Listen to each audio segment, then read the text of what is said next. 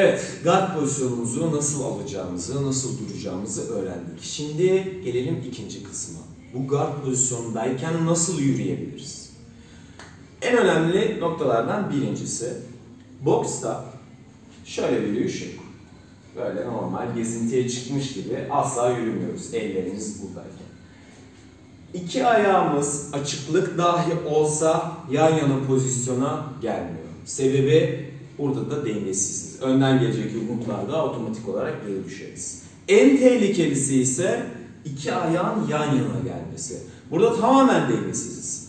Asla ve asla yandan gelecek, önden gelecek, sağdan gelecek, soldan gelecek yumruklara tepki veremeyiz ve dengesiz kalırız.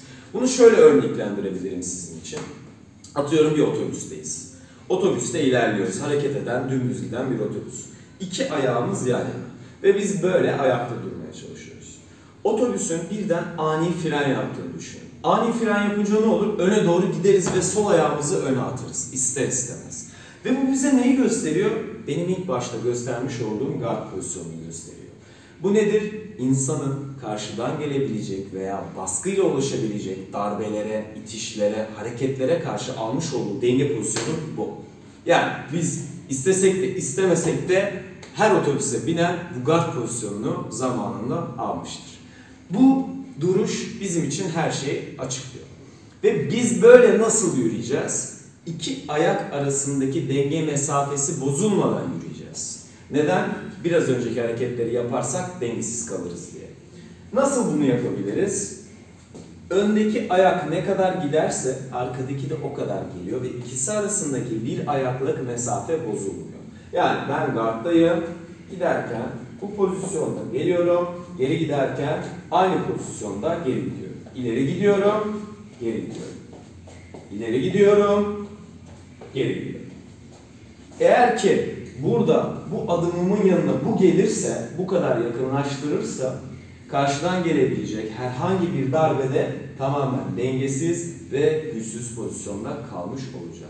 Bunu engelleyebilmek amaçlı ayna karşısında çalışmak bizim için çok önemli. Kendinizi bir aynanın karşısına vereceksiniz, guard pozisyonda olacaksınız. Bütün teknikleri oturtup bu şekilde ilerlemeye çalışıyoruz. Bunu birden yapmanız veya birden gösterdiğimiz anda aynısını yüzde yüz uygulayabilmemiz mümkün olmayabilir. Bu zamanla kazanabileceğimiz, yaylanma zamanla kazanabileceğimiz, gardı çene hizasında yukarıda tutma zamanla kazanabileceğimiz ve alışkanlık haline getirebileceğimiz bir şekilde yavaş yavaş ilerler. Ha yeteneğiniz vardır, ee, çok fazla görsel olarak boks maçları izliyorsunuzdur ki bunun çok fazla önemi var. Bunu daha hızlı bir şekilde katabilirsiniz. Ama en önemli bunu vücudunuza, sisteminize ve dövüş profilinize katmanızın en önemli noktası çalışmak. Ne kadar çok tekrar edersek o kadar daha çok hızlı bir şekilde bunu vücudumuza artık hiç düşünmeden ayağım ileride mi, kolum yukarıda mı diye düşünmeden bu pozisyona gelmiş oluruz.